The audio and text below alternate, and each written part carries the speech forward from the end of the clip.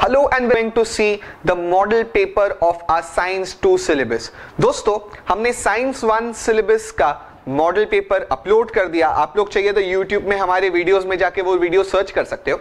और जब हम साइंस वन का वीडियो अपलोड करे थे तो आप में से बहुत से लोग ने कहा, सर साइंस वन का तो मॉडल पेपर आपने दिया साइंस टू का भी दे दो ओके तो ये पेपर मॉडल पेपर है साइंस टू के लिए, ठीक है? इसमें हम बताएँगे कि मॉडल पेपर किस तरह से होता है, किस तरह से क्वेश्चंस पूछे जाते हैं। मैंने पिछली बार भी आपको वीडियो में कहा था कि 2018 में हमारा सिलेबस चेंज हो गया। तो ये साल, यानी 2019 के लिए हमारे पास कोई पेपर के रेफरेंस नहीं है, कोई रेफर करने का को कोई पेपर नहीं है। इसके लिए ये मॉडल पेपर बहुत ज़रूरी हो जाता है हमारे लिए एक चीज़ प्रैक्टिस भी होनी चाहिए हमारी। सेकंड चीज़ हमें पता होना चाहिए कि एग्ज़ाम में क्वेश्चन आ कैसे रहे राइट सो फॉर दैट हमने, हमारे वेबसाइट के लिए और यूट्यूब के लिए आप लोगों के लिए फ्री में ये मॉडल पेपर बनाया है। अच्छा दोस्तों, हम आपसे एक चीज़ चाहते हैं। You should like a video right हमारा वीडियो लाइक कर दो और आपको चाहिए तो कुछ डाउट्स है इस पेपर में या टेंथ स्टैंडर्ड के सिलेबस में तो आप वो क्वेश्चंस कमेंट बॉक्स में भी लिख सकते हो। मैं खुद उन कमेंट्स का आंसर दे दूँगा। एंड अगर आपने अब तक हमारे चैनल को सब्सक्राइब नहीं किया तो चैनल को सब्सक्राइब भी कर दो। और ये वीडियो अपने दोस्तों के साथ शेयर भी कर दो। चाहे आपके स्कूल के व्हाट्सएप ग्रुप हो, आपके कोई फ्रेंड को आपको बताना हो, ऐसा मॉडल पेपर होता है। तो उसको व्हाट्सएप पे या किसी और मीडियम पे इस वीडियो को आप शेयर भी कर दो ओके एंड रिमेंबर ये तो मॉडल पेपर है हमारे साइंस टू सिलेबस का। अगर आपको पूरा साइंस टू सिलेबस परचेस करना है बाय करना है साइंस वन सिलेबस बाय करना है maths one maths two standard tenth का बाय करना है तो यू कैन बाय दैट कहाँ से बाय कर सकते हो पता है? देर इज़ अ लिंक आप ये वीडियो के डिस्क्रिप्शन बॉक्स में एक लिंक है www.optimumeducators.com या flipkart.com या amazon.com पे जाकर के आप लोग ऑप्टिमम एडुकेटर्स टाइप करके स्टैंडर्ड टेंथ टाइप करके साइंस या मैथ्स या जो कुछ भी आपको परचेस करना है, आप कर सकते हो okay also we do offer for standard eleven twelve fifth six seven eight nine ten science और मैथ्स हम ऑफ़र करते हैं। आप लोग जब अगले साल इलेवेंथ में जाओगे तो for eleventh standard we offer physics chemistry maths biology right so आपको वो भी परचेस करना है तो you can do that now come on let's go and do this paper now दोस्तों, मुझे एक बात बताओ कि हम ये पेपर को, मैं इतना ये पेपर को स्ट्रेस क्यों दे रहा हूँ? सबसे पहले मैं अपने आप को इंट्रोड्यूस कर देता हूँ. I am Salman Petiwala IIT Madras MTech gold medalist okay दोस्तों? एंड यहाँ पर मैं ये पेपर को इसके लिए फोकस कर रहा हूँ, क्योंकि यहाँ वहाँ का पेपर नहीं है. ये बाल भारती की ऑफिशियल वेबसाइट का ऑफिशियल पेपर है. बहुत ज़्यादा चांसेस है कि जो मैं आप क्वेश्चन करा रहा हूँ ना, वो ही एग्ज़ाम में आ जाएँगे, ठीक है? तो जब ये क्वेश्चन करा रहा हूँ तो ऐसा नहीं है कोई भी पेपर बस हम ऐसे उड़ा देंगे, नहीं। वो पेपर को जरा ध्यान से देखो, उन क्वेश्चन को प्रैक्टिस करो। आने के चांसेस ज़्यादा है। ये आ गया तो हमारे एग्ज़ाम के लिए हम परफेक्ट चौका मार देंगे हम, ठीक है? Come on let's go and start with the model paper so दोस्तों before jumping to our model paper last video में भी मैंने आपके साथ पेपर पैटर्न डिस्कस किया था। यहाँ पर भी क्विकली रिवाइज करा देता हूँ। वो साइंस वन का पेपर पैटर्न था, ये साइंस टू का पेपर पैटर्न है। ठीक है?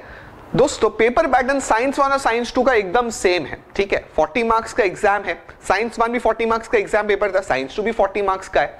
और यहाँ पर आपको टू आवर्स मिलेंगे 40 मार्क्स का एग्ज़ाम लिखने के लिए okay now talking about this guys तो ब्रेकअप क्या है? Breakup is also very similar as that of science one तो there are four question question number one question number two question number three और question number four question number one में दोस्तों, पिछली बार की तरह दो पार्ट है part A and part B part A हमारे फिल इन द ब्लैंक है, ठीक है? क्वेश्चन दिए गए, कुछ ब्लैंक है, उसे हमें फिल करना है।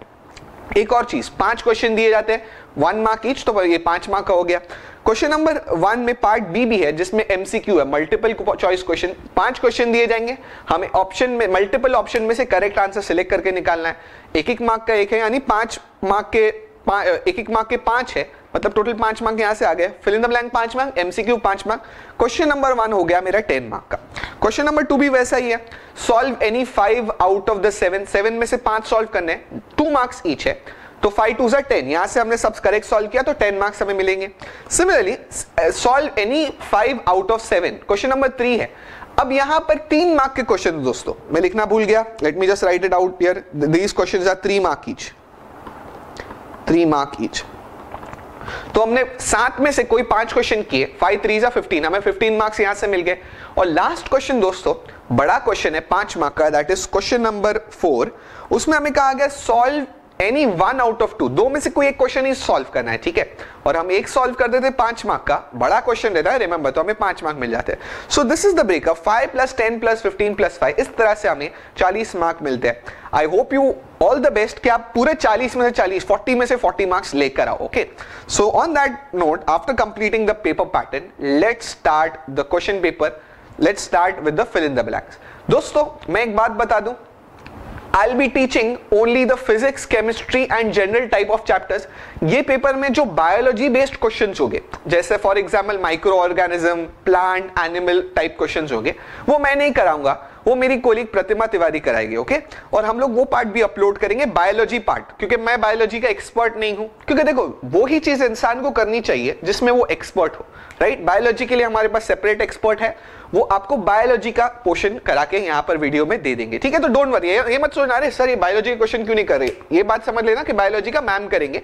मैं बायोलॉजी को छोड़ करके बाकी सब साइंस टू के क्वेश्चंस पूछ चाहे वो फिल इन द ब्लैंक हो आंसर्स हो लॉन्ग आंसर्स हो शॉर्ट आंसर्स हो, मैं बाकी सब कर दूँगा okay so on that note let us start with the question number one part A so starting with question number one guys question number one में दोस्तों, मैं जो पार्ट बायोलॉजी के है ना, वो ग्रीन में टिक करते जाऊँगा, जो मैं नहीं कराऊँगा मैम कराएँगे okay so question number one में part one is biology ma'am कराएँगे. I go to question number two come on let's start question number two rewrite the food chain given below with correct sequence okay तो यहाँ पर एक food chain दिया है दोस्तों food chain आप लोगों ने पढ़ा है कि फॉर एग्ज़ाम्पल एक रफ फ़ूड चेन की बात करूँ तो प्लांट को डियर खाता है राइट right? डियर मतलब हिरन खाता है राइट right? ग्रास खाता है और हिरन को शेर खाता है राइट right? लायन खाता है सो so, एक फ़ूड चेन बनता है पहले grass deer lion right fruit chain food chain बनता है। उसी तरह से यहाँ पर भी एक फ़ूड चेन को हमें ऑर्गेनाइज करना है, ठीक है? सो यहाँ पर ग्रास हॉपर है स्नेक है पैडी फ़ील्ड है ईगल है और फ्रॉग है। लेट्स स्टार्ट सो दोस्तों, सबसे पहले हम फ़ील्ड यानी क्रॉप्स पैडी फ़ील्ड से स्टार्ट करेंगे। तो यहाँ ये शुरू होता है पैडी फ़ील्ड से। पैडी फ़ील्ड और पैडी फ़ील्ड में दोस्तों, आप देखते हो कि ग्रास हॉपर्स होते हैं राइट तो ग्रास हॉपर्स ग्रास के, उनका नाम ग्रास हॉपर क्यों है? क्योंकि वो ग्रास के आसपास ही हॉप करते रहते हैं राइट ओके वो ग्रास खाते हैं बेसिकली या ग्रास से रिलेटेड चीज़ें खाते हैं पैडी फ़ील्ड में होते हैं. सिमिलरली दोस्तों, ग्रास हॉपर को कौन खाता है? तो आप बोलोगे, सर, ग्रास हॉपर को फ्रॉक खाता है, मेंढक, फ्रॉक खाता है. फेर इनफ आगे बढ़ते हैं.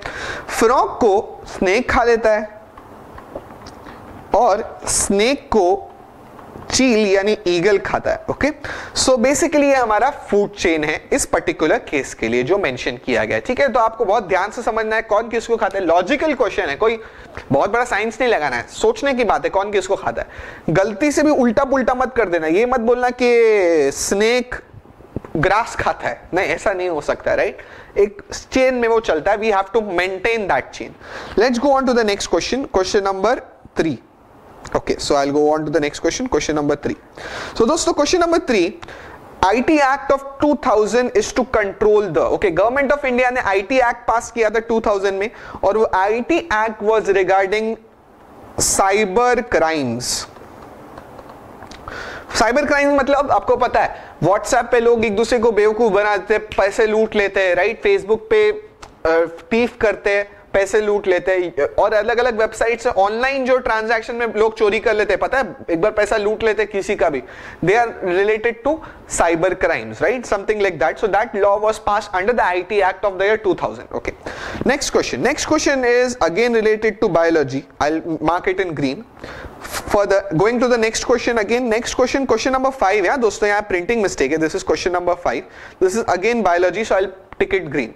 Come on let's go on to the next question now question number 1b is mcq let's do the first one so दोस्तों first mcq कुछ इस तरह से uh, what should be done if the gas cylinder at your home catches fire अगर हमारे घर पे भगवान ना करे गॉड फॉरबिट जो गैस का सिलेंडर एलपीजी सिलेंडर जो घर पे वो अगर आग कैच कर ले तो हमें क्या करना चाहिए number one option number A water should be sprinkled उस पर पानी मारना चाहिए option B sand commerce soil should be put in it कहीं से सैंड लाके डाल दो। Option number C cylinder should be covered with wet blanket option number D भाग जाओ। वन शुड रन अवे ठीक है तो क्या करोगे? ऑफकोर्स बहुत बड़ा फायर लगा तो आप भाग ही जाओगे राइट पर यहाँ छोटे मोटे फायर की बात हो रही है। तो उस केस में क्या करना चाहिए? अगर एलपीजी सिलेंडर पे आग ले गए so you should not arrange for soil and sand actually you should cover that cylinder with a wet blanket wet blanket से कवर करना चाहिए। क्यों? क्योंकि वेट ब्लैंकेट की वजह से उसको एक्सप्लोजन होने का चांस थोड़ा कम हो जाता है, ठीक है? It's it's a good habit to cover that with wet blanket पानी मारोगे तो इतना फ़ायदा नहीं रहेगा बाकी सब चीज़ से भी इतना फ़ायदा नहीं रहेगा। फ़ायदा कब रहेगा? जब आप उसको एक पानी फॉर एग्ज़ाम्पल घर में एक टावल है। टावल भिगाया और उसके ऊपर लपेट दिया आग के ऊपर, ताकि वो आग को रोक ले, ठीक है? Come on go on to the next question next question is again biology based so I'll tick it green next question पे चलते हैं। Again this is biology based okay fine question number four पे चलते हैं. Which of the following is use solar cooker to harvest solar energy solar cooker आप लोगों ने देखा होगा दोस्तों, नहीं तो गूगल कर लो इमेज सोलर कुकर क्या होती है. सोलर कुकर वो होता है जो खाना पकाता है यूजिंग सोलर एनर्जी राइट और सोलर कुकर के अंदर दोस्तों, क्या यूज़ होता है? Option number A solar panels panels option number B silicon cell C mirrors D glass lid so दोस्तों सोलर कुकर में मिरर यूज़ किया जाता है। क्यों? मिरर की वजह से वो सोलर कुकर के अंदर सन की रे बार बार रिफ्लेक्ट होती है। अंदर अंदर ही रिफ्लेक्ट होती है। आप लोग ने पढ़ा है रिफ्लेक्शन लाइट का राइट साइंस वन ने पढ़ा है। रिफ्लेक्ट होती है अंदर अंदर और रिफ्लेक्ट होने की वजह से जो एक रे ऑफ़ लाइट सन से जो अंदर आ जाती है ना, फिर वो अंदर ही रहती है, बाहर नहीं जाती रिफ्लेक्शन की वजह से राइट तो वहाँ पर अंदर मिरर यूज़ किया जाता है खाना बनाने के लिए। नेक्स्ट क्वेश्चन पे चलते हैं। So next question again is biology based okay let's go on to question number two one हो गया फिल द ब्लैंक और एमसीक्यू दोनों हो गया. Let's go on to question number two अब question number two guys is a two mark question तो हमें दो चार पॉइंट तो लिखने पड़ेंगे एक्सप्लेन करने के लिए. Let's start with the question so question number two is like this part part one question number two का question number one part one solving the problem of pollution is an effective way of environmental management justify the statement okay तो हमें इस statement को justify justify मतलब इसको बराबर बताना है कि ऐसा क्यों? अब ये स्टेटमेंट क्या है? जब भी किसी स्टेटमेंट को जस्टिफाई करना हो ना तो क्वेश्चन के अंदर घुस के ध्यान से पढ़ना पड़ता है उसे। क्योंकि उसके फ्रेमिंग में ही क्वेश्चन के वर्डिंग्स में ही आंसर छुपा होता है। लेट्स स्टार्ट तो बोला गया solving the problem of pollution problem of solution अगर सॉरी पोल्यूशन अगर पोल्यूशन की प्रॉब्लम को हमने सॉल्व कर दिया ना तो environmental way it is effective way of environmental management environmental manage environment को मैनेज करने का तरीका इट्स एन इफ़ेक्टिव वे कि हम पोल्यूशन को क्या कर दे? सॉल्व कर दे right so we need to explain the statement a little bit चलो स्टार्ट करते हैं इसके एक्सप्लेन करना. सो so, दोस्तों सबसे पहले आ, मुझे एक बात बताओ. We should start with the statement of what exactly you define as an environment right so we should start like this के biotic and abiotic factors constitute the environment right थोड़ा आंसर को ऐसा स्टार्ट करो biotic and abiotic factors constitute the environment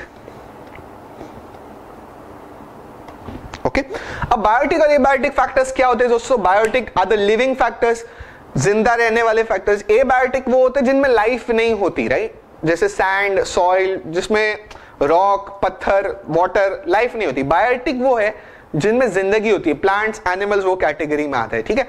और दोस्तों, ये chapter ये कौन से चैप्टर का है? हमारे टेंथ स्टैंड के साइंस टू के चैप्टर का राइट ये चैप्टर को मैंने डिजास्टर मैनेजमेंट को मैंने डिटेल में एक्सप्लेन किया है हमारी डिटेल एक्सप्लेनेशन सीरीज़ आप चाहो तो हमारा जब चैप्टर आप बाय करोगे ना साइंस टू के सिलेबस में तो ये सब चीज़ मैंने डिटेल में कवर करी है। अगर आप एक बार भी वो लेक्चर सुन लोगे ना तो आपके दिमाग में बैठ जाएगा।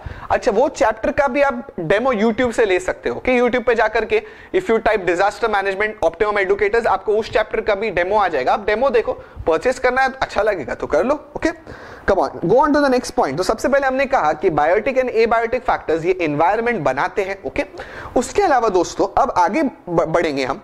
तो इन फैक्टर्स को proper use and conservation is environmental अभी एनवायरमेंटल मैनेजमेंट क्या है? तो अगर हम एनवायरमेंट को प्रॉपरली यूज़ करते हैं, या इन फैक्टर्स को अच्छे से यूज़ करते हैं बायोटिक और एबायोटिक यानी पानी प्लांट एनिमल इनका प्रॉपर यूज़ ही एनवायरमेंटल मैनेजमेंट है, ठीक है? So I can just write down proper use and conservation conservation of okay of these factors is environmental management इसको कहते हैं अच्छा environmental management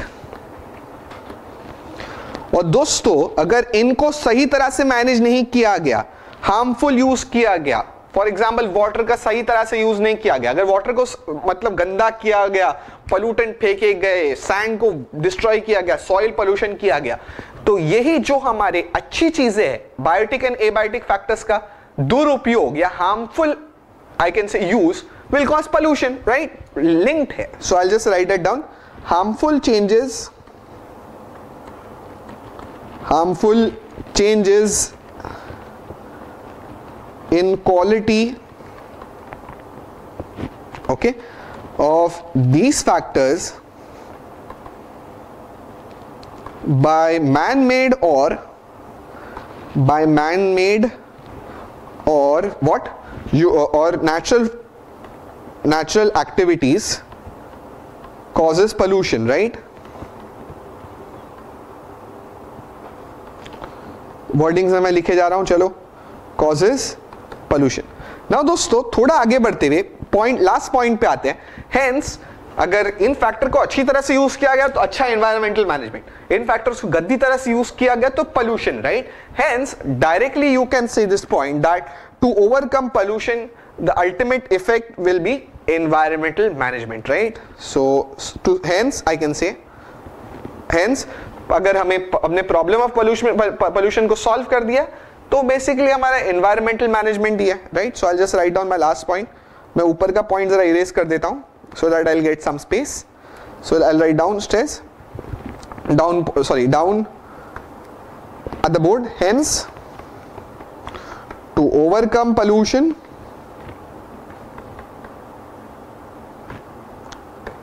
is the hence to, uh, to overcome is the ultimate effective way of environmental management of नीचे लिखता हूँ environmental management okay okay, थोड़ा छोटा लिख लिया आई होप ये दिख रहा है आपको okay fine so this is the way of controlling environmental management तो ये हो गया हमारे क्वेश्चन नंबर वन का answer now going to question number two guys ये क्वेश्चन नंबर टू आप जो देख से, देख रहे हो ये सब बायोलॉजी बेस्ड क्वेश्चन है जो मैम करेंगे. Next question number three is also linked with biology right question number four is also linked with biology अब ये क्वेश्चन नंबर टू में वन टू थ्री फोर में से वन मैंने कराया three two three four ma'am करेंगे. Now question number five six and seven are related to my part so biology नहीं है वो मैं कराऊँगा. So let's go ahead and do that so as discussed guys let's move on to question number 5 question number 4 biology based था ma'am करेंगे मैं question number 5 कराता हूँ चलो let's do it so question number 5 is like this which aspects will you check for a pre disaster management in your school okay तो अगर ये question पूछा गया कि प्री डिजास्टर डिजास्टर आने से पहले हमें कौन से कौन से स्टेप्स ऐसे लेने चाहिए ताकि हम डिजास्टर को रोक सके ओके या कभी डिजास्टर आ सके तो वो इतना डैमेज क्रिएट नहीं कर पाए जो अचानक आने वाला डायरेक्शन डिजास्टर क्रिएट कर दे right so for that I have an answer in front of me question पहले ध्यान से पढ़ लो। कौन से एस्पेक्ट है जो हमें अपने स्कूल में चेक करके रखने चाहिए कि हाँ कभी कोई डिजास्टर है तो ये सब चीज़ तो होनी ही चाहिए। Come on so for that I have an answer I show you that answer come on let's go for that so दोस्तों we should have the ability to be prepared for a disaster यहाँ देखो कुछ wordings में लिखा गया आपको दिख रहा है, यहाँ पर हमें कहा गया है कि you should have the ability to be prepared for a disaster चाहे किसी भी तरह का डिजास्टर आए, उस डिजास्टर के लिए रुकने हमें उस डिजास्टर को, ये बचने के लिए उसके लिए तैयार होने के लिए सबसे पहले एबिलिटी होनी चाहिए, ठीक है? अब यहाँ पर हमें क्वेश्चन पूछा गया इन योर स्कूल स्कूल का डिस्कशन हो रहा है तो स्कूल में किस प्रकार का डिजास्टर आ सकता है? सो रिमेंबर स्कूल में हम कह सकते हैं कि हमारे पास we can get something like forest sorry we can get earthquake right natural disaster like earthquake आ सकता है राइट उसके अलावा, स्कूल में स्टॉम आ सकता है राइट अचानक से अर्थक्वेक आ गया भूकंप आ गया। अच्छा मैन मेड डिजास्टर भी हो सकते हैं, जैसे हमारे स्कूल में केमिकल लेबोरेटरी होती है, वहाँ पर केमिकल लेबोरेटरी में भी आग लग सकती है तो fire and accident in the chemical laboratory and also stampede भगदड़ मच सकती है राइट स्कूल में कभी कुछ एक्सीडेंट हो, उसकी वजह से लोगों को बहुत प्रॉब्लम हो सकती है। अब लास्ट पॉइंट में हम क्या लिखेंगे? हम ये लिखेंगे कि उससे हमें प्रिपेयर करने के लिए हमें क्या क्या करना चाहिए okay so how to plan a disaster तो सबसे पहली चीज़ हमें मॉक ड्रिल करती देनी चाहिए। मॉक ड्रिल मतलब स्टूडेंट्स को बुला करके ड्रिल ड्रिल मतलब सबको समझाना चाहिए। कभी कुछ अर्थक्वेक आया तो हमें ऐसा बिहेव करना है। फायर लगा तो ऐसा बिहेव करना है। स्टॉम uh, आया तो ऐसा बिहेव करना है। हमें सबको अवेयर करना चाहिए। उसे कहते हैं मॉक ड्रिल नेक्स्ट दोस्तों, सब सब स्टूडेंट्स को, या एटलीस्ट कुछ स्टूडेंट्स को फायर फाइटिंग इक्विपमेंट्स के बारे में पता होना चाहिए। आप देखते हो, लाल कलर का एक बॉटल होता है फायर एक्सटिंग्विशर जिसे कहते हैं। अब मैक्सिमम स्टूडेंट्स को चलाने ही नहीं आता है। कभी आग यहाँ तक कि टीचर्स को भी नहीं चलाने आता है। कभी आग लगी और किसी को चलाने नहीं आया वो तो फिर वो क्या फ़ायदे का राइट बराबर। हेंस कुछ लोगों को उसकी स्पेशल ट्रेनिंग देना बहुत ज़रूरी है। स्कूल में स्पेशली टीचर्स को भी देना ज़रूरी है और कुछ कुछ स्टूडेंट्स को तो एटलीस्ट पता होना ही चाहिए ओके फाइन सिमिलरली दोस्तों, हर स्कूल में इमरजेंसी एग्जिट्स होने चाहिए। कभी आग लगे तो हमें कैसा जाना है? आपको पता है अर्थक्वेक या आग लगे तो उस समय कहा जाता है लिफ्ट नहीं यूज़ करने का। लिफ्ट बिल्कुल नहीं यूज़ करने का। सीढ़ियों से चल के उतरने का। और सीढ़ियों पे भी दिखा लिखना चाहिए इमरजेंसी एग्जिट यहाँ से आप लोग निकलोगे तो फॉरन बिल्डिंग के बाहर निकल जाओगे। पता चला कि इमरजेंसी एग्जिट ही नहीं है बिल्डिंग में। आग लगने के बाद लोग ढूंढ रहे कहाँ जाना है राइट ऐसा नहीं होना चाहिए right next you should always have a first aid box एक बॉक्स जिसमें कुछ कॉटन हो, कुछ डेटॉल हो कुछ फायर फाइटिंग इक्विपमेंट का छोटी मोटी चीज़ें हो ऐसा फ़र्स्ट एड बॉक्स होना ही चाहिए हर स्कूल में right so these are the things you should be aware और यू शुड बी प्लान और you should check as in your school as a part of a pre-disaster management. Okay. Now let's go back to our question. तो हमने question को answer कर दिया Let's go on to the next question, guys. That will be question number six. हमें दो connections दिए गए ये क्या है दोस्तों? बेसिकली गाइस दिया सोलर सेल्स राइट आप लोगों को पता ही है सोलर सेल आप देख सकते हो फ़र्स्ट केस में ये दो सेल है, ये सेल नंबर वन और cell number two both are connected in series right एक लाइन में जब कनेक्ट होता है तो हम कहते हैं सीरीज़ राइट और सेकंड कनेक्शन है, इसे कहेंगे हम पैरेलल कनेक्शन एक के नीचे एक जब सोलर सेल्स कनेक्टेड होते हैं तो उन्हें कहते हैं हम solar cells in parallel okay now दोस्तों you should remember that series में पोटेंशियल डिफरेंस ऐड होता है राइट right? और करंट सेम रहता है that is I will be equal to I one will be equal to I two थोड़ा सा मैं हाईलाइट करके दिखा रहा हूँ। और उसका ऑपोजिट पैरेलल में होता है। ये तो हमारा है सीरीज़ कनेक्शन जैसा मैं आपको दिखा रहा हूँ। ये है मेरा पैरेलल कनेक्शन पैरेलल में दोस्तों पोटेंशियल सेम रहता है that is V one is equal to V two is equal to V right पर पैरेलल के केस में करंट ऐड होता है। ठीक है आई रिपीट अगेन ध्यान से सुनो, ध्यान से सुनो। सीरीज़ के केस में करंट हमारा सेम रहता है पोटेंशियल ऐड होता है राइट पैरल के केस में पोटेंशियल सेम रहता है करंट ऐड होता है, ठीक है? Now let us have a look at the question आप क्वेश्चन पढ़ते हैं। So observe the following connections of the cell shown in the following images observe करने के बाद हमें कहना है which connection will give maximum potential difference okay so दोस्तों, जैसा कि मैंने आपसे कहा कि सीरीज़ के केस में आप देख सकते हो ये जो पोटेंशियल है वो ऐड हो रहा है राइट बराबर। तो इस केस में क्योंकि पोटेंशियल ऐड हो रहा है this will give maximum potential difference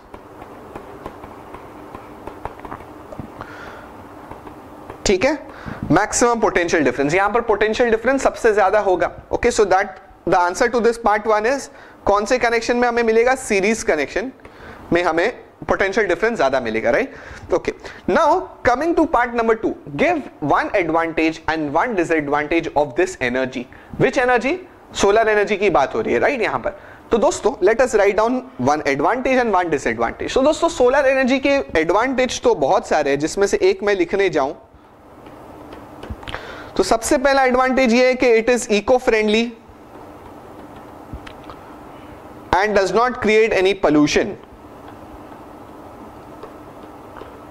does not create pollution pollution नहीं करता है। जैसे बाकी टाइप ऑफ़ एनर्जी आप थर्मल एनर्जी ले लो, उसमें धुआँ निकलता है राइट यहाँ पर ऐसा कुछ नहीं होता। It this is eco friendly और डिसएडवांटेज की बात करूँ दोस्तों तो ये जो सोलर एनर्जी है वो हमें सिर्फ़ दिन में ही मिल सकती है, ठीक है? तो दैट्स इट इज़ एडवांटेज अगर हमें रात को सोलर एनर्जी यूज़ करनी है तो पॉसिबल ही नहीं है। क्यों? क्योंकि सोलर एनर्जी रात में आती ही नहीं है राइट उसके लिए फिर हमें बैटरी वैटरी यूज़ करनी पड़ेगी सेव करके रखना पड़ेगा दिन के समय। पर रात को सोलर एनर्जी होती ही नहीं है स्पेशली विंटर सीज़न में सोलर एनर्जी कंपेरेटिवली कम होती है right so disadvantage will be it is not available always जब चाहिए, तब ले लो। ऐसा नहीं होता सोलर एनर्जी की में। वो सिर्फ़ दिन के समय ही हमें मिलती है okay come on let's go on to the next concept the next concept is question number seven let's read and do this one also what do the symbols indicate explain your opinion about दो symbols तो दो symbol आपके पास दिए हुए दोस्तों। एक यहाँ पर यह सिंबल है और एक वॉटर वाला सिंबल है। So the first symbol remember guys it stand for recycling ये सिंबल याद रख लो एग्ज़ाम के लिए इंपॉर्टेंट है। रिसाइकलिंग वाला सिंबल है ओके एंड सेकेंड जो सिंबल है, ये एक पानी का ड्रॉप है, जिसको दो पैर बने हुए, एक दो आँखें बनी हुई, दो हाथ है।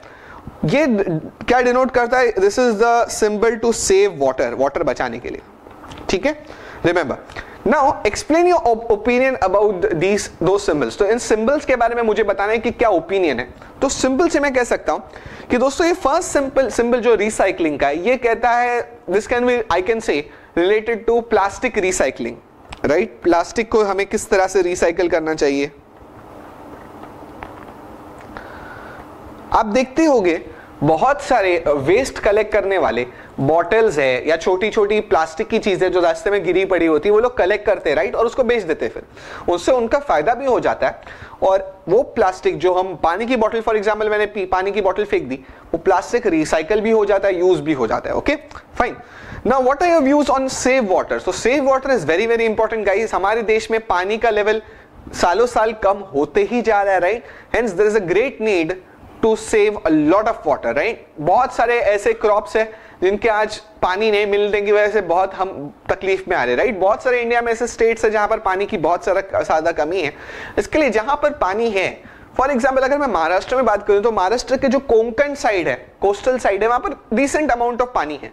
पर आप महाराष्ट्र के विदर्भ के रीजन में जाओ, थोड़ा अंदर जाओ महाराष्ट्र में तो वहाँ पर पानी का बहुत प्रॉब्लम है right water is a big problem there so therefore saving water is our priority as well as our responsibility right so i can write about this that we should use the water or judicious use of water judicious use of water should be done right and implementation accordingly सिर्फ़ बातें नहीं करनी है implementation भी करना है implementation accordingly जो भी प्लान है हमारे उनको हमें ज़मीन के लेवल पे जाकर के इंप्लीमेंट भी करना है okay so guys with this we complete question number seven part seven complete हो गया and this question comes to an end please make a note up till here then we'll proceed further so guys now it's time to go on to question number three question number three में मैंने आपको पहले ही बताया, पाँच question हमें करने हैं, तीन मार्क की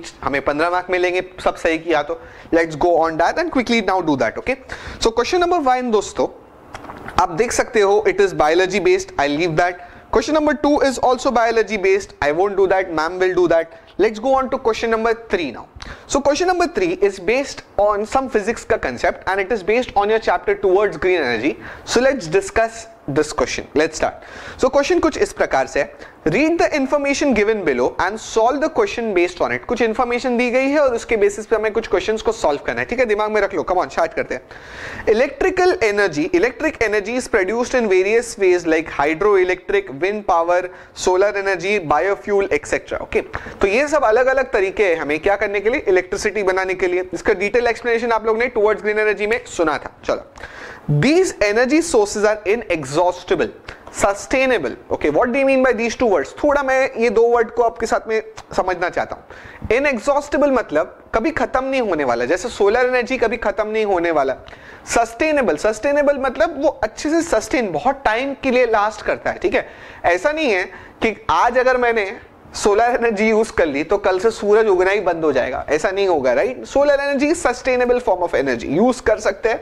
पॉल्यूशन बिना फैलाए। कम अगेन कम अगेन ध्यान से सुनो। क्या कहता हूँ? पॉल्यूशन बिना फैलाए इन सब सोर्सेज ऑफ़ एनर्जी को हम यूज़ कर सकते हैं, ठीक है? चाहे वो बायोफ्यूल हो, चाहे वो विंड पावर हो, कुछ भी हो, जो ऑप्शन दिए गए यहाँ पर ओके पैराग्राफ रीड कर लिया। क्वेश्चन पढ़ो, चलो come on besides it does not cause any environmental problem ये भी मैंने आपको कहा। स्टार्ट करो question about information is about which type of energy तो ये सब एनर्जी कौन से टाइप की एनर्जी है दोस्तों? चाहे सोलर हो, चाहे विंड हो, इन्हें कहा जाता है green energy they are all green energy green energy मतलब इनको यूज़ करने से पॉल्यूशन नहीं होता है।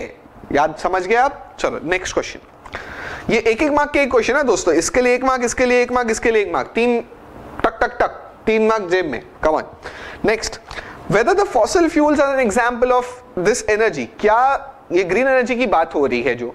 Are fossil fuels green energy the answer would be no fossil fuels are not green energy I can just write that down fossil fuels are not green energy क्यों?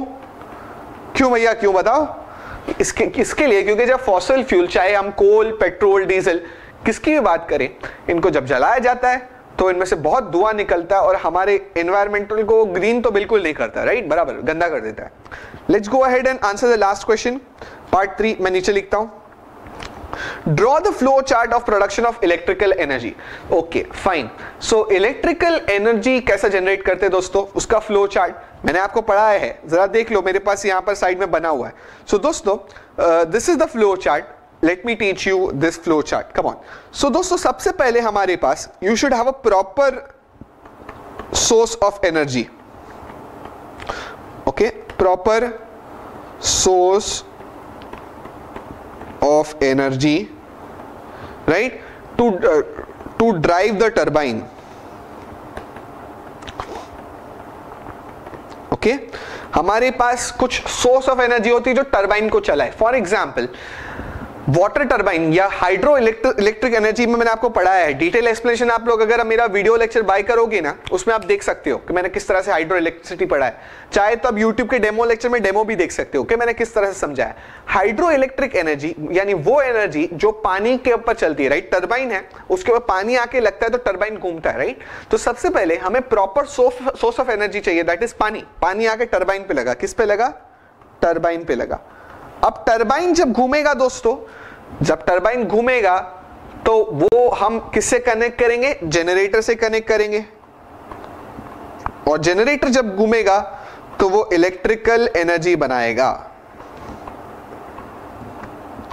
Right same I can apply to wind energy wind energy में proper source of energy wind होता है, बराबर? ये wind होता है यहाँ पर।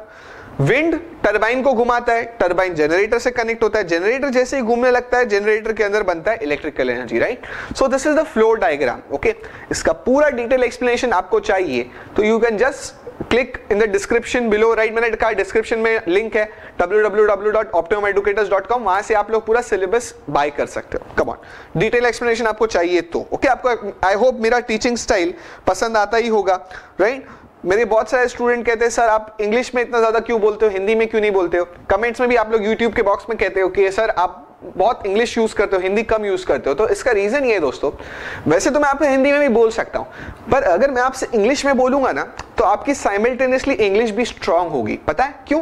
क्योंकि जब आप इंग्लिश में सुनते हो तो एग्ज़ाम में भी आप जब इंग्लिश में लिखोगे तो जो मैं वर्ड्स इंग्लिश का यूज़ कर रहा हूँ वही वर्ड्स आप एग्ज़ाम में लिख, लिखोगे ठीक है? वरना अगर मैं आपको सिर्फ़ हिंदी में पढ़ाऊं तो आपके दिमाग में जो भी चीज़ें है ना हिंदी में रह जाएगी। फिर जब आप एग्ज़ाम में लिखने जाओगे तो उस समय हमें अपने दिमाग में लैंग्वेज को कन्वर्ट करना पड़ेगा। कुछ सोच आएगा दिमाग में हिंदी में फिर उसको सोच सोच के सोच सोच के हिंदी में लिखना पड़ेगा राइट तो हिंदी ज़्यादा मैं यूज़ नहीं करता करता हूँ ऐसा नहीं पर इंग्लिश भी मैं यूज़ करता हूँ ताकि आपके दिमाग में आंसर किस तरह से लिखा जाता है वो बिना मेरे बताए बैठता जाता है right so that's a technique let's start with the next question on that note come on so question number four again guys it is a biology based question ma'am will take care of it next come on let's go for question number five complete the following concept diagram using factors harming the social health and based on it answer the following question तो यहाँ पर हमारे पास कुछ एक diagram बना है ठीक है? फ्लो चार्ट की तरह एक डायग्राम है, हमें इसे फिलअप करना है, ठीक है? थोड़ा रीड करते हैं। Tobacco products can be included in which of these factors okay so दोस्तों factors harmful to social health would be in this box the answer should be addiction addiction किसी चीज़ का किसी को एडिक्शन हो जाता है एडिक्ट हो जाता है, लगाव हो जाता है राइट फॉर एग्ज़ाम्पल बहुत सारे लोग स्मोकिंग से एडिक्ट हो जाते हैं। फिर उनको जब अगर सिगरेट नहीं मिली तो उनकी हालत खराब हो जाती है right similarly people have alcohol addiction okay fine they are harmful for social health similarly दोस्तों, अगर इनक्योरेबल डिज़ीज़ हो गया, जैसे कैंसर तो वो किसी, कोई इंसान जिसको कैंसर हो जाता है तो हमारी सोसाइटी ऐसी बन चुकी है कि लोग उसके आसपास आना पसंद नहीं करते। अगर किसी को ट्यूबर हो गया बार बार वो खांसते ही रहता है तो क्या उसके पास लोग आएँगे? नहीं, बहुत सोशल स्टिग्मा बन जाता है वो okay fine similarly other things that are harmful for social health is mental stress किसी को दिमाग से बहुत स्ट्रेस हो गया है। ठीक है? तो वो भी प्रॉब्लम क्रिएट करता है। तो this is the fill up of this particular chart अब आंसर करते हैं हमारा question tobacco products can be included in which of these factors तो इन तीनों में से टबैको कहाँ आएगा दोस्तों? तो आपको पता है दोस्तों टबैको यानी तंबाकू। तंबाकू अगर कोई एक बार खाता है तो फिर उसको, उसकी लत लग जाती है। लत का मतलब एडिक्शन एडिक्शन लग जाता है। फिर एक, हमेशा ज़िंदगी भर तंबाकू ही खाता रहता है ओके सो देयरफॉर तंबाकू यानी टबैको ये कैटेगरी में आएगा एडिक्शन की कैटेगरी में आएगा। The answer to this will be addiction next how the tobacco products are harming the social health मुझे बताना है कि हाउ टबैको चूइंग जो लोग टबैको खाते हैं, वो उनकी सोशल हेल्थ सोशल हेल्थ मतलब सोसाइटी में उनकी हेल्थ किस तरह से इफ़ेक्ट होती है? सो रिमेंबर गाइस कि जिसको टबैको खाने की आदत हो जाती है देन उनके आसपास लोग नहीं आते, उनको कैंसर जैसे इशू भी हो जाते हैं right it can also cause cancer right cancer किसका पता है? You can have cancer of the mouth mouth cancer होने लगता है फिर बहुत पेनफुल सर्जरी करनी पड़ती है। इससे अच्छा है क्यों ऐसी सब चीज़ें खाना राइट बराबर। So it causes social health tobacco problem like cancer it will cause you cancer and then of course social problems उसके साथ क्रिएट होनी ही होनी है। ठीक है? तो इसका इस तरह से हमें आंसर फ्रेम करना है। एग्ज़ाम में आप लोग ने अपने वर्ड में फ्रेम इसको कर लेना।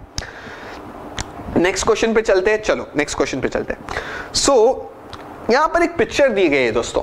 बहुत ध्यान से मैं आप लोग, आपका ध्यान चाहता हूँ। जरा जरा यहाँ देखो, जरा ध्यान से देखो, मैं किस तरह से पिक्चर को समझाता हूँ। आप ये पिक्चर पे ध्यान से देखो, क्या हो रहा है पता है? यहाँ एक एक्सीडेंट हुआ रखा है। एक बंदा यहाँ पर गिरा हुआ है, ज़मीन के नीचे आया हुआ है, लगा हुआ है, उसमें सर से सर से खून निकल रहा है। ठीक है, वो डायग्राम इतना क्लियर नहीं है, पर फिर आपको समझा देता हूँ तो आप समझ लो। और उसको मदद करने की जगह, उसको एक आदमी मदद कर रहा है, बाकी चार लोग उसकी फ़ोटो निकाल रहे हैं। राइट आजकल ऐसे ही हो गया है। अगर कोई ज़मीन पे गिरता है या कोई तकलीफ़ में रहता है तो लोग मदद करने बाद में जाते हैं। पहले वीडियो निकालते कि मैं व्हाट्सएप पे सेंड करूँगा ग्रुप पे डालूँगा। राइट ये नहीं करना है बिल्कुल भी। पहले उसकी हेल्प करो देन उसको पहले सही जगह पे उसको पहुँचाने की कोशिश करो राइट तब फिर उसके बाद में अपना मोबाइल निकाल के कम से कम उसकी हेल्प कर दो। अगर उसको कहीं कॉल करना है तो उसके लिए हेल्प कर दो। ऐसा नहीं कि कोई गिर रहा है, कोई रो रहा है और लोग उसकी फ़ोटो खिंचा रहे हैं। That's very bad right so यहाँ पर वही दिखा गया as you can see this person and this person ये इंसान है और ये इंसान है। ये लोग दोनों फ़ोटो बना रहे वीडियो बना रहे उसका। राइट? तो दैट इज़ एब्सोल्युटली रॉन्ग एक एक्सीडेंट हुआ है जिसका एक तो वो पहले से मेंटल ट्रॉमा में है परेशान है ऊपर से फ़ोटो भी निकालोगे उसकी। ऐसा गलत बात है right so therefore going ahead what is asked in this case so which mental illness is shown in the picture below कौन सी मेंटल uh, इलनेस है? सबसे पहली मेंटल इलनेस है दोस्तों insensitivity what do mean by insensitivity insensitivity मतलब दूसरों की केयर नहीं करना, खुद गर्ज हो जाना। इनसेंसिटिव किसी का दर्द देख करके हमें दर्द नहीं होता, हमको लगता है ठीक है, होने दो उसको, अपना कुछ नहीं जा रहा है तो कोई टेंशन नहीं राइट ये बहुत गलत चीज़ है। This is called insensitivity right this is a big mental illness okay further guys social, i can say, social problems like making video clips making video clips instead of helping.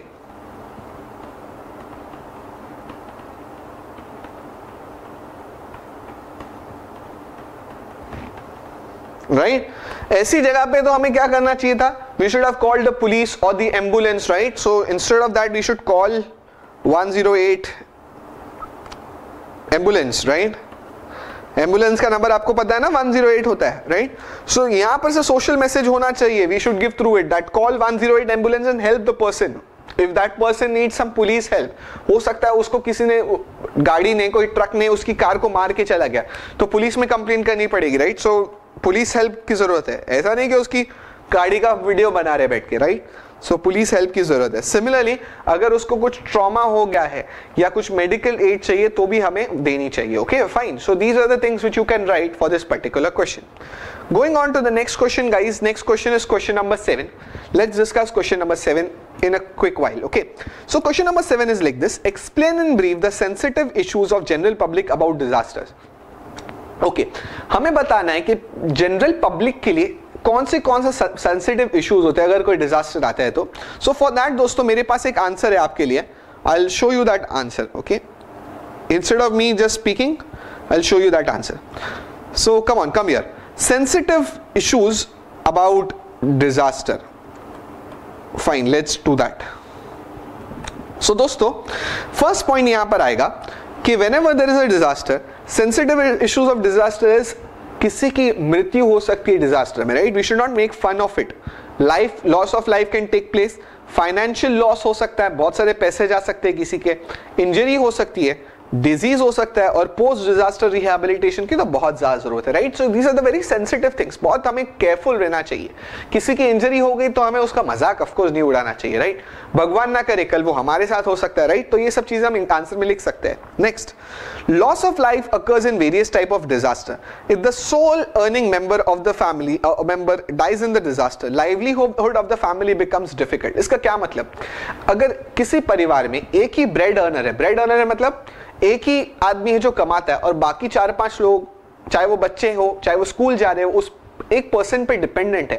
अगर उस इंसान की कमाने वाले की मृत्यु हो जाती है तो पूरी फैमिली अफेक्ट हो जाती है right so we should be very careful towards them not be insensitive right next family faces use economic loss during due to the burning of how how home to ashes in fire कभी कभी ऐसा होता है, दोस्तों, आप लोग ने सुना होगा, मुंबई में अक्सर होता है ऐसा। मुंबई में जो झोपड़पट्टी जिसे हम कहते हैं राइट बराबर? झोपड़ा राइट जिसे कहते हैं, जहाँ पर गरीब लोग रहते हैं। बहुत बार ऐसा होता है कि वहाँ पर फायर लग जाता है। कई कई कई आई कैन से दो झोपड़े गेट डिस्टर्ब राइट पूरे के पूरे जल जाते हैं राइट और उसकी वजह से बहुत लोगों की मृत्यु भी होती है लोगों का घर चला जाता है right so that's a big social and economic problem economic loss उनके लिए पूरा घर ही चला जाता है। Further guys post disaster rehabilitation is also a sensitive issue and delay in terms of disaster help from government authorities बहुत सारी गवर्नमेंट अथॉरिटीज है जो मदद तो करती है पर बहुत लेट मदद करती है राइट कई कई ऐसे बाढ़ पीड़ित होते हैं, भूकंप पीड़ित होते हैं, जिनको एक एक दो दो साल के बाद जो गवर्नमेंट कॉम्पनसेशन का जो पैसा है वो मिलता है, पर वो इतना नुकसान हो चुका होता है कि गवर्नमेंट का पैसा फिर उनको इतनी हेल्प नहीं पहुंचाता right hence it is highly appreciable कि लोग एक दूसरे की डायरेक्ट मदद करें और गवर्नमेंट पे हम थोड़ा कम डिपेंडेंट रहे okay fine last point discussing about that is I can discuss about that is क्या डिस्कस करना है मुझे? हाँ. कि uh, government, it is highly appreciated to raise funds and extend helping hand on the part of the society. हमें as a society ऐसे लोगों की मदद करनी है. जैसे फॉर एग्ज़ाम्पल बीच में आप लोगों ने देखा होगा बहुत सारी सोशल मीडिया प्लेटफॉर्म जैसे गूगल पे पेटीएम यहाँ पर केरला रिलीफ फंड चलाया गया। जगह जगह फ्लड होते हैं, वहाँ पर रिलीफ फंड्स चलाए जाते दोस्तों राइट ताकि हम सिर्फ़ गवर्नमेंट पे डिपेंड ना रहे, हम ऐसे लोगों को डायरेक्ट जाके मदद कर सके okay fair enough so this should be the answer for this type of a question let's go on to the next one guys come on ये हो गया क्वेश्चन नेक्स्ट वाला चलते हैं। नेक्स्ट वाला क्वेश्चन नंबर फोर में ये part जो it is biology based question so ma'am will do it let me go on to the last question of this particular paper that is question number four का part two आपको पता है question number four का एक ही question पाँच पाँच mark का होता है तो इससे पहले वाला, और हमें ऑप्शन रहता है, दो में से किसी एक को करना होता है. Come on let's do this so lack of management of which factor is shown in the figure तो यहाँ पर आप देख रहे हो दोस्तों, थोड़ी ब्लर सी पिक्चर है. ब्लैक एंड व्हाइट है, पर समझ में आ रहा है कि कुछ ऑयल या कुछ इंडस्ट्रियल वेस्ट डायरेक्ट यहाँ से निकल के वाटर बॉडी में जा रहे हैं राइट बराबर? और वाटर बॉडी को गंदा कर रहे हैं. तो कौन सा लैक ऑफ़ मैनेजमेंट यहाँ दिखाया गया? What can that factor be manage with the help of microbes क्या हम माइक्रोब्स का यूज़ करके ऐसे ऑयल को रोक सकते हैं क्या? ठीक है next how the oil spill in oceans are cleared oil spill अगर ओशन में होता है, दोस्तों, बहुत सारे टैंकर्स होते हैं ऑयल के, जो समंदर में पलट जाते हैं तो पूरा का पूरा ऑयल समुद्र में गिर जाता है। उसकी वजह से पूरे समुद्र में ऑयल फैल जाता है और जो हमारे फिशेस है, वो मर जाते हैं because of that right so हमें क्या करना चाहिए उस केस में? We need to discuss in this particular question let's answer them one by one so answering this question let me come here come on so first part को हम answer करते हैं. Lack of management of what is shown in the figure right? I have zoomed in a little bit here. Let's start reading. So, सबसे पहले मुझे बताना है कि lack of management of what what is lacking out here lack of management so दोस्तों I can say we are not managing our waste और sewage properly right जो waste या सुएज जो हमारे घर से निकलता है या इंडस्ट्री से निकलता है वो पिक्चर दिखा रही है कि वो बराबर से मैनेज नहीं हो पा रहा है right next microbes how next question how can the factor be manage with the help of microbe microbe यानी छोटे छोटे माइक्रो ऑर्गेनिज्म से हम किस तरह से बचा सकते हैं? हमारे एनवायरमेंट को, कचरे को किस तरह से आई कैन से डिकम्पोज कर सकते हैं? वो बताना है। So for that the answer is microbes can decompose any compound that as well as the they destroy the pathogens of cholera typhoid एक्सट्रेक्ट्रा are mixed with the sewage तो ये जो कॉलेरा टाइफॉइड ये जर्म्स होते हैं ना, इसको हमारे microbes खा जाते हैं राइट रोक देते हैं, बचा लेते हैं। किसको? हमारे इंसान को उस सीवेज गंदे सीवेज से निकलते हुए डिजीजेस से राइट बचा लेते हैं। सिमिलरली दोस्तों, ये रिलीज़ करते हैं methane and carbon dioxide by decomposing the carbon compounds present in the sewage ये सीवेज में, कचरे में जो कार्बन कंपाउंड्स होते हैं, ये माइक्रोब्स क्या करते पता है? उसे हार्मफुल चीज़ों को डिकम्पोज करके, उसमें से जो कार्बन डाइऑक्साइड निकाल लेते ताकि फिर वो जो सीवेज का बचा हुआ पोर्शन होता है, वो फिर इतना डेंजरस नहीं होता right and micro I can say earthworms microbes ये सब अच्छी चीज़ है। ये हमारे सीवेज में से डिज़ीज़ वाली चीज़ों को निकाल सकते हैं, ठीक है? Phenol oxidising bacteria decompose the xenobic xenobiotic chemical present in the sewage okay तो बहुत सारे ऐसे बैक्टीरिया भी होते हैं जो सीवेज को हेल्प करने के लिए या सीवेज को क्लीन करने के लिए काम आते हैं okay fair enough now let's go on to the last question last question is like this. How the oil spills in oceans are cleared? अगर oil spill हो गया तो किस तरह से उसे क्लीन किया जाता है? तो let us answer that question.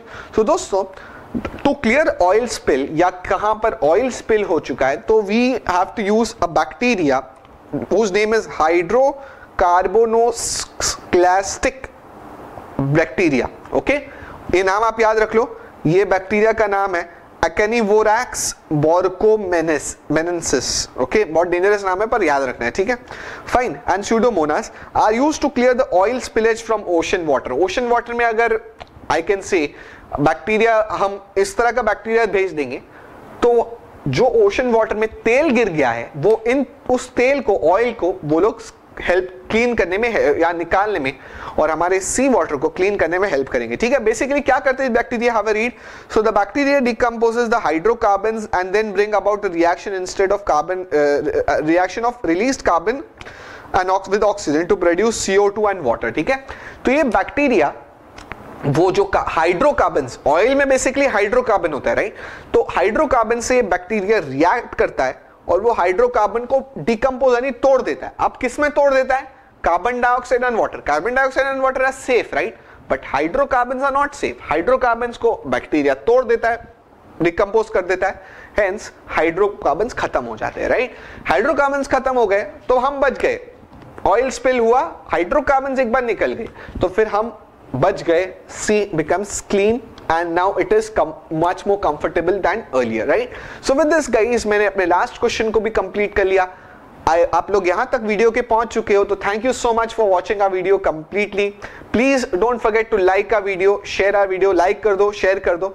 कुछ डाउट्स है इस वीडियो के बारे में तो नीचे मुझे कमेंट कर दो, मैं आपको आंसर करूँगा, ठीक है? और अगर अब तक आपने हमारे चैनल को सब्सक्राइब नहीं किया है तो please do subscribe our channel और बेल आइकन भी दबा दो। Thank you so much